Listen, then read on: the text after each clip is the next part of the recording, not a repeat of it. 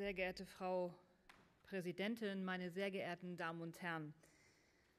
Zunächst einmal muss ich sagen, fand ich das jetzt gerade ein bisschen schade, dass, wenn wir einen Antrag vorliegen haben, der sich um den Verfassungsschutz drehen soll, wir über die Polizei reden. Ich glaube, das ist genau eines der Probleme, dass wir die Themen immer miteinander vermischen. Verfassungsschutz ist Verfassungsschutz, der hat ganz andere Aufgaben als die Landespolizei. Und es wäre schön, wenn wir das zumindest hier in der Debatte dann auch auseinanderhalten würden, weil das nämlich auch in der Öffentlichkeit suggeriert, als hätte Verfassungsschutz die gleichen Aufgaben. Dabei sind das zwei ganz unterschiedliche Dinge. Die Kolleginnen und Kollegen der Fraktion von der FDP wollen mit ihrem Antrag äh, Freiheit und Sicherheit stärken mit der Forderung, den Verfassungsschutz im Bereich Spionageabwehr zukunftssicher aufzustellen. Zunächst einmal, und es tut mir leid, dass ich da so akribisch sein muss, aber Mecklenburg-Vorpommern hat kein Landesamt für Verfassungsschutz. Wir haben seit der, Begründung, seit der Gründung 1991 lediglich eine Abteilung des Innenministeriums, die Abteilung 5 das ist also eine Abteilung des Innenministeriums, kein Landesamt. Das ist ein großer, großer Unterschied. Damit ist im Grunde, das ist leider so, aber damit ist im Grunde Ihr ganzer Antrag schon für die Tonne, weil das ist einfach begrifflich falsch und wir müssen uns ja hier in diesem Hohen Hause schon mit den richtig, richtigen Begrifflichkeiten auch.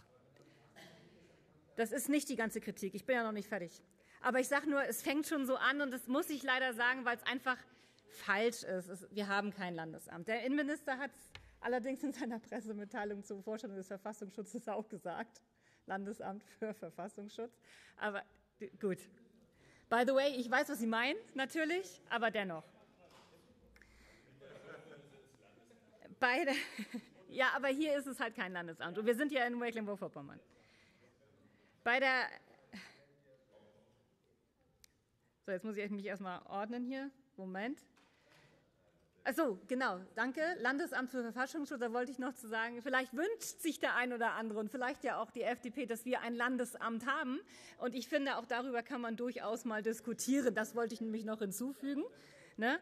Bei der SPD zum Beispiel nehme ich wahr, dass sie den Zuständigkeitsbereich des Verfassungsschutzes eher noch ausweiten möchte. Das habe ich so vernommen. Die Linke hat nach wie vor noch nicht ihren Frieden mit dem Verfassungsschutz gemacht, wie mit vielen anderen Bereichen der inneren Sicherheit der Bundesrepublik Deutschland. Aber das müssen Sie in der Koalition untereinander klären. Ist aber ein Fakt, denke ich mal, dass Sie auch nicht verschweigen wollen. Herr Koplin nickt. Ist ja auch in Ordnung. Ist halt eine Haltung dazu. Zweck des Verfassungsschutzes nach Paragraph 1 des Landesverfassungsschutzgesetzes ist jedenfalls der Schutz der freiheitlich-demokratischen Grundordnung, des Bestandes und der Sicherheit des Bundes und der Länder. Die Spionageabwehr im Verfassungsschutz beschäftigt sich mit der Aufklärung, Abwehr und Verhinderung von Spionageaktivitäten fremder Nachrichtendienste. Wenn mit dem Bund und den anderen Bundesländern Möglichkeiten zur Verbesserung der Ausstattung und äh, der strukturellen Aufstellung des Verfassungsschutzes genutzt werden sollen, ist dagegen sicherlich überhaupt nichts zu sagen. Den Bereich der Spionageabwehr im Verfassungsschutz personell und sachlich ausreichend auszustatten, sollte selbstverständlich sein, meines Erachtens. Ob ein Konzept für die zeitnahe Besetzung der offenen Stellen in der Verfassungsschutzabteilung entwickelt werden muss, kann man diskutieren. Letztendlich entscheiden die Arbeits- und Karrierebedingungen, die Vereinbarkeit von Beruf und Familie und das Aufgabenfeld, ob jemand für den Verfassungsschutz tätig sein will oder nicht. Alle weiteren Forderungen, sehr geehrte Kolleginnen und Kollegen der FDP-Fraktion, sind nicht trennscharf durch die gesetzliche normierten Aufgaben des Verfassungsschutzes gedeckt. Sicherheitsaudits, Pentestings und die Implementierung von Best Practices der Cybersecurity, Schulung und Training von Mitarbeitern im öffentlichen Dienst zu Sicherheitsrisiken, Spionageabwehr und Desinformationsbekämpfung können wirksame Mittel sein zum Schutz einer funktionsfähigen Wirtschaft. Normierte Aufgabe des Verfassungsschutzes ist aber im Rahmen der bestehenden Eigenverantwortung von Unternehmen durch Sensibilisierung und Aufklärung einen Beitrag zum Schutz der Wirtschaft und auch zur Sicherheit unseres Landes zu leisten. Fakt ist aber auch, dass die Sicherheit in Deutschland trügerisch ist. Die Weltlage ist unsicher und geprägt von internationalen Spannungen und Bedrohungen. Durch eine Stärkung des Verfassungsschutzes im Bereich der Spionageabwehr kann die nationale Sicherheit Deutschland erhöht werden, selbstverständlich. Spionageabwehr erfordert moderne Technologien und hochspezialisierte Kenntnisse.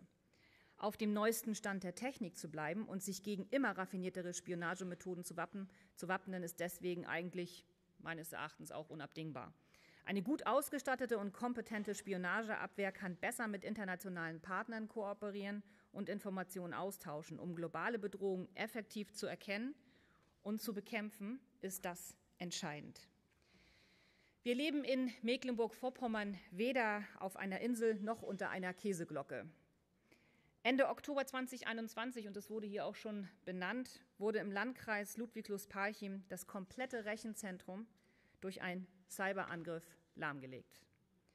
Wer auch immer das getan hat, es waren offenbar nicht unsere Freunde. Und das nächste Mal könnten es Krankenhäuser, die Wasserversorgung, Verkehrsleitsysteme oder auch die Eisenbahn treffen. Wir müssen uns dringend besser schützen.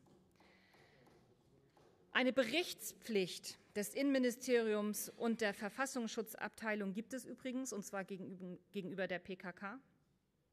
Dem Innenausschuss bis 30. September 2024 über Prüf- und Umsetzungsergebnisse zu, zu berichten, ist, denke ich, schon echt sehr kurzfristig und ich denke auch gesetzlich nicht zulässig. Und aus diesem, bitte? Ah, ja, guck mal.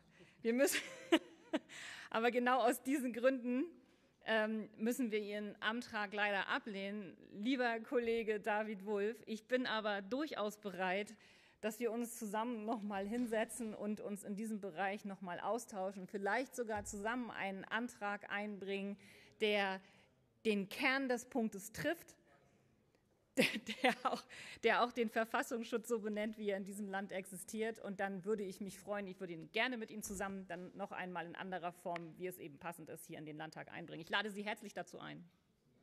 Herzlichen Dank für Ihre Aufmerksamkeit. Vielen Dank, Frau Abgeordnete. Das